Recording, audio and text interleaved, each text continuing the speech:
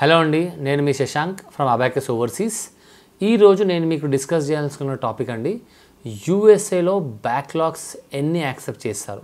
అసలు మీ బ్యాచెస్లో ఎన్ని బ్యాక్లాగ్స్ ఉన్నాయి? ఎలా లెక్కబెట్టడం అనేది నేను మీకు చెప్పాలనుకుంటున్నాను అండి. ఫస్ట్ బ్యాక్లాగ్స్ ఎలా లెక్కబెట్టడం అనేది చెప్పుకుందామండి so number of attempts is called as backlogs అండి. సో మనం ఎం వన్ సబ్జెక్ట్ ఒక ఐదు సార్లు రాసామనుకోండి ఒకటే సబ్జెక్ట్ కదా ఒక బ్యాక్లాగ్ అనుకోవద్దండి. ఎన్నిసార్లు దాన్ని రీరైట్ చేస్తే అన్ని బ్యాక్లాగ్స్ అంటారు. సో ఇలా కొంతమందికి పది ఉంటాయి కొంతమందికి ఇరవై ఉంటాయి. ఈ మధ్యలో మేము కామన్గా ఫార్టీ ఫిఫ్టీ కూడా చూస్తున్నామండి. సో ఎన్ని ఎఫ్స్ టోటల్గా ఉంటే ఎగ్జామ్షన్స్ తీసేయకూడదు. ఎన్ని ఎఫ్స్ టోటల్గా ఉంటే అన్ని బ్యాక్లాగ్స్ అండి. ఫర్ సపోజ్ నేను ఏమన్నా నాలుగు సార్లు రాశాను వేరే సబ్జెక్ట్ మూడు సార్లు రాశాను. సో ఈ రెండు సబ్జెక్టులు రెండు బ్యాక్లాగ్లు కాదండి. ఈ రెండు సబ్జెక్టులు ఏడు బ్యాక్లాగ్లు. ఫర్ సపోజ్ ఒక సింగిల్ ఎఫ్ ఉండి మెమోలో ఏది లేదనుకోండి మనం ఆ మెమో పక్కన తీసేసి బ్యాక్లాగ్లో లెక్క పెట్టుకోవాల్సిన అవసరం లేదండి. సో ఇప్పుడు చెప్తాను అసలు ఎన్ని బ్యాక్లాగ్స్ యాక్సెప్ట్ చేస్తారు?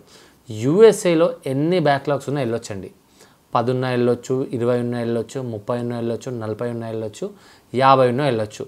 కానీ ఈ బ్యాక్లాగ్స్ పెరిగినా కొద్ది అండి యూనివర్సిటీ రేంజ్ తగ్గుతూ ఉంటుంది. యూనివర్సిటీ ఆప్షన్స్ తగ్గిపోతాయి. సో ఇప్పుడు యూనివర్సిటీ ఆఫ్ డెట్రాయిడ్ మెర్సీ ఉందండి. యాభై బ్యాక్లాగ్లను యాక్సెప్ట్ చేస్తుంది.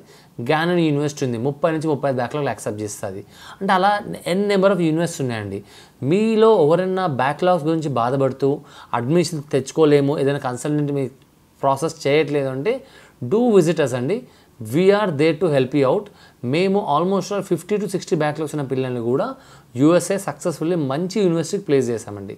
సో మీకు కూడా ఈ వీడియో కనుక నచ్చినట్టయితే kindly subscribe to my channel and మీకు ఇలాంటి ఇంకా ఏమైనా డౌట్స్ ఉంటే you can call me or you can visit my office thanks for watching this video